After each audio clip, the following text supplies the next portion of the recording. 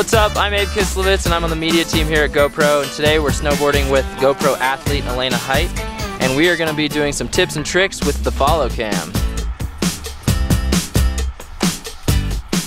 If you really want to get that cinematic follow cam, no matter how hard you try doing it handheld, you'll always get shaky shots.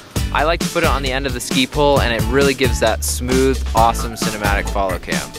So today I'm going to be using the handlebar seat post pole mount and I've got the rubber gasket installed. And when you buy this mount, it comes with two of these rubber gaskets. One is a little bit larger for larger diameters, and this is the one for smaller diameters. And I'm actually going to be using it on the end of my ski pole to make a follow cam pull, just like this. When I'm follow camming, my go-to mode is 1080-60 wide. It's a perfect combination of high resolution, high frame rate, and it's buttery smooth. I try to get as close as I can to the subject. You really get the best action that way.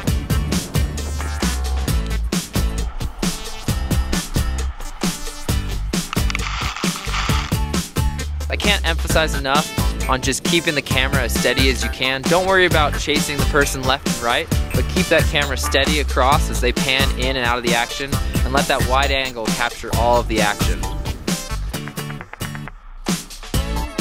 Alright, that was follow camming with the handlebar seat post pole mount with the GoPro media team and GoPro athlete Elena Hight.